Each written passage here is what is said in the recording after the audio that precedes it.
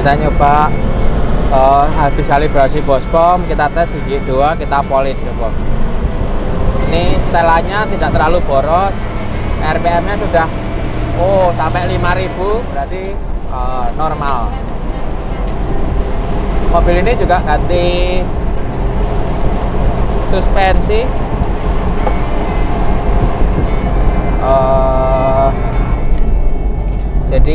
sekaligus kita ngetes suspensinya.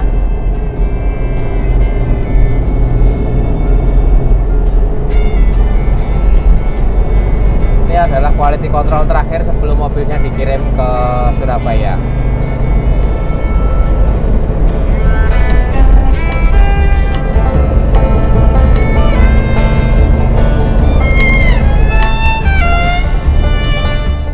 versi bospom bospomnya oke okay, tapi basic engine-nya kurang oke okay. jadi uh, kayaknya sudah mulai keausan ring piston sama beberapa klepnya sudah tidak apa ya tidak rapet lah jadi kalau tandanya apa bospomnya mau RPM tinggi tapi di RPM 40 uh, 4000 ke atas itu powernya kurang itu karena busnya maksimum tapi uh, basic engine-nya kurang kuat gitu loh jadi ya kayak gini tapi sudah oke okay. lari 140 juga bisa itu pun kerasa tidak sehat aja mesinnya udah udah mulai turun performanya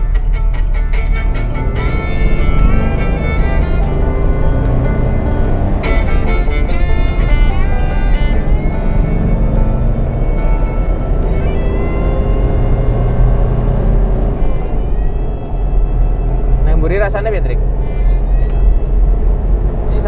200 saya yang coba kita coba tadi aja enak ini loh. Yang standar.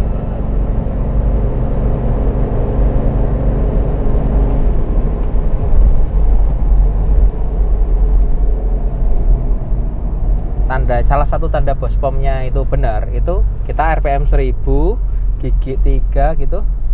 Uh, RPM 1000 aja mobilnya nggak mesinnya nggak geng geng gitu loh mesinnya masih enak dipakai ini tandanya turbonya masih sehat bosolnya enak. Mesinnya juga balance. Nah kenapa kok di 3500 ke atas kurang bertenaga? Ya karena di situ sudah full load pistonnya full load mungkin pistonnya sudah mulai ada keausan kilometer juga 200 ribu. Sebenarnya Land Cruiser itu sebaiknya saran dari Toyota itu 150 ribu itu harus turun mesin ganti metal jalan ganti ring piston. Harusnya gitu supaya tekanan olinya juga terjaga dan uh, mesin itu awet gitu loh. Nah, ini udah mungkin ini kalau kita lihat mesinnya belum pernah dibongkar, ya wajar gitu. Nah, masih masih oke. Okay. Yang penting olinya bagus saja. Bukan rusak, memang keausan gitu. Nah ini salah satu mobil setup mobil harian yang proper lah karena hanya ganti per uh, bushing sama shock breaker steer sama shock. Shocknya pakai Ome BB51 ini udah udah enak.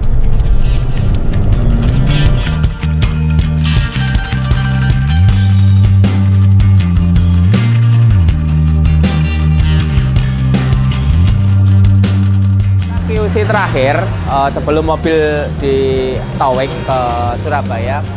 Ini mobilnya oke okay, cuman setirnya kocak. Jadi ini kita style bagian ini loh teman-teman bisa setel sendiri nih bagian warung setir sini nanti dikasih lampu lah biar bisa lihat. Kalau suspensinya kita pakai Ome BP51 ribbon sama kompresornya bisa dilihat baik itu menjadi basic setting kalau teman-teman pasang di rumah. Tekanannya kalau dengan bumper standar ban sama velg ini tekanan nitronya dibikin 280 pernya pakai peders uh, 2 in 0 150 uh, ini sudah sudah oke. Okay. Bor apa shock breaker steering pakai tado pakai SV uh, kita coba stylein lah karena memang bukan pekerjaan saya sebenarnya bukan orderan kita cuman karena sepeleng kita coba stylein sekalian biar biar lebih enak